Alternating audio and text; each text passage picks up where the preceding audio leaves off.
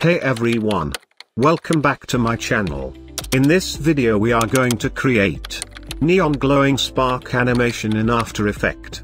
Something like that.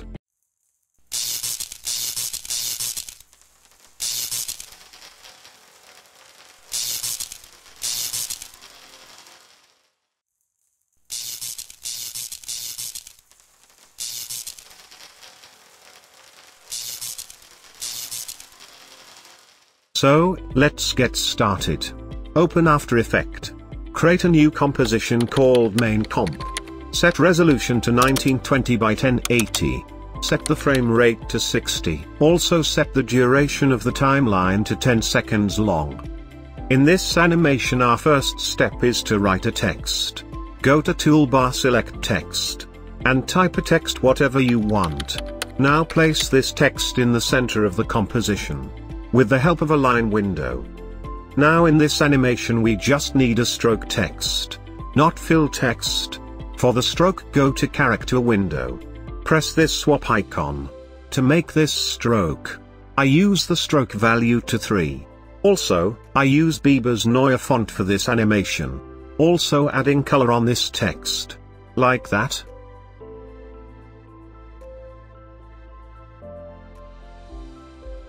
Now adding random fade in and fade out animation on this text. Select text layer. Go to add. And select opacity. Set opacity value to 0. Click on the drop down icon of the range selector.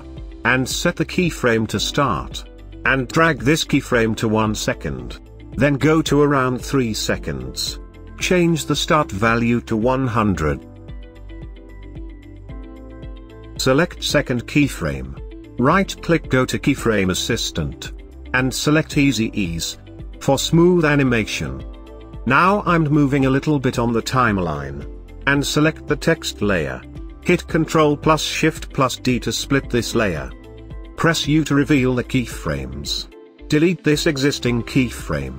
Now press Alt plus click on the start. For opening the expression bar. And adding an expression. Like that. Now we are adding random fading to this text. Select the first layer of the text. Click on the advance. Then on the randomize order.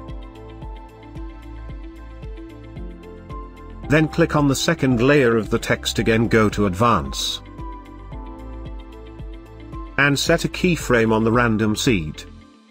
Then go all the way to 10 seconds and change the value to random seed to 100. Now this is our text animation. Select both the text layer and pre-compose them, by pressing Ctrl plus Shift plus C and call it text. Now we are adding some glow effect on this text. Go to Effect and Preset, search Drop Shadow, and apply it and make some changes. Like that.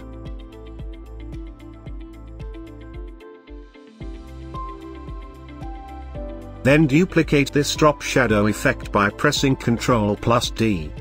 Again, making some changes. Now adding a glow effect. Go to Effect Search Glow. Drag this on the text layer. Change the glow radius to 55 and intensity to 1.3. Again, pre-compose this text composition. Call text with glow effect. Make sure hit check on the move all attributes. Adding some more effects on this text. For glowing, duplicate this layer. Change the opacity to 30. Go to Effect and Preset and search Radial Fast Blur.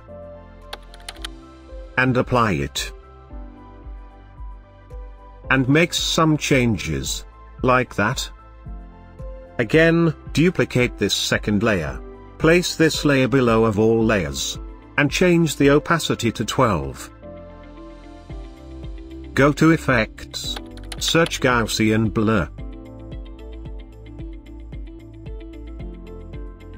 change the blur amount to 50. Now adding lines behind of this text. Press the transparency grid. Go to the toolbar. select pen tool.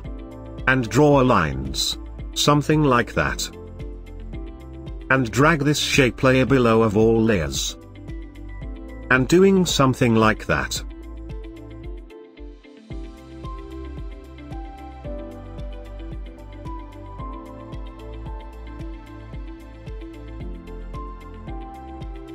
Now pre-compose all shape layer.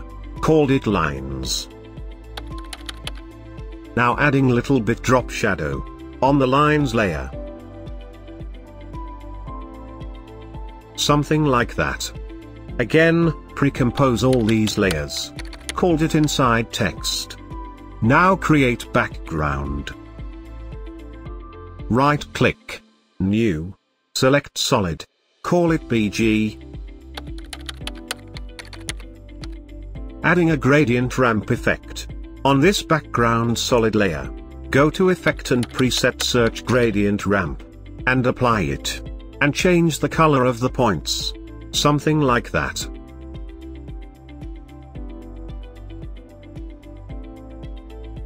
Now adding a black text. Behind this text layer. Open project. And drag the text layer into the main comp. And add a freeze frame keyframe. Like that. Also apply fill effect to make this black. Also drag this below to the inside text layer. Make this text as a reflecting text. Select inside text layer. Right click. Go to transform. And select flip vertically and drag the reflected text layer. Like that. Also drag this layer below to the text layer. Now create a glowing floor. Drag this image layer from the project window. Check the 3D icon. And adjust this floor image. Like that. And adding some effect. Apply tint effect. And add curve effect on this floor.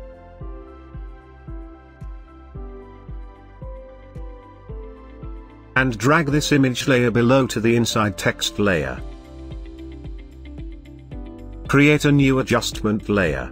Drag this on the top of the inside text layer. On this adjustment layer, we apply compound blur effect.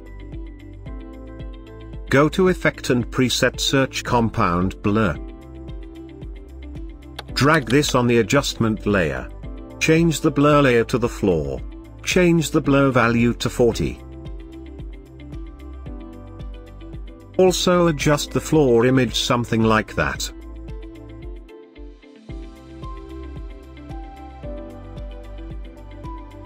Again, pre-compose all these layers instead of BG layer. Call it inside all elements. Adding a null object. And make this null object as a parent of the inside all element layers. And check on the 3D icon of both layers.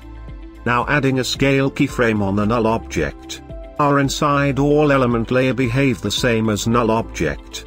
Because we make null object layer as a parent to this layer. That's why.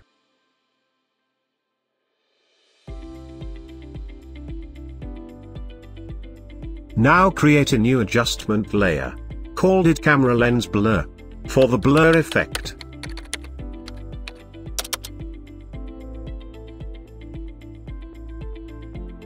Go to Effect and Preset. Search Camera Lens Blur. Apply this on adjustment layer. Go to first frame. Add a keyframe on the blur radius. Set value to 50 and go to around 2 seconds on the timeline.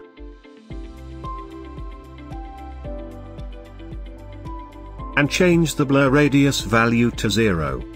Here is our final text animation. Now adding a spark particle animation. Go to text with glow effect composition. Then create a new solid layer, called particle.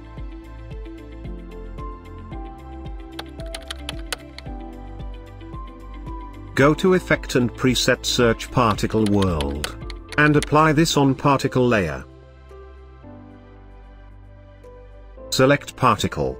Change the color of the particle same as the text color. Like that. Change birth rate to 0.3. Go to physics. Change animation to fractal omni. Then go to floor. Change the floor action to bounce. And change the floor position to 0.08. Now add a keyframe on the birth rate. Go to around 1 second. Change the birth rate to 0, then move forward in the timeline. Then change the birth rate to 0.3. Again move forward and set the birth rate value to 0.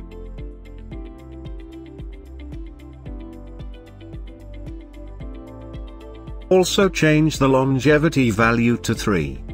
Now adding some glow effect on this particle effect.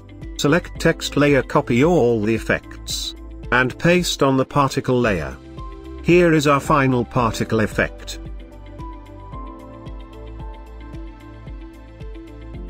Now just duplicate this particle layer and place this on the starting point of the text appearing. Something like that.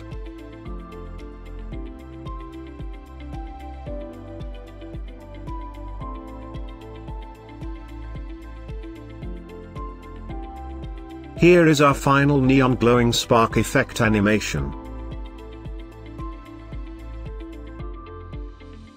Thanks for watching this tutorial.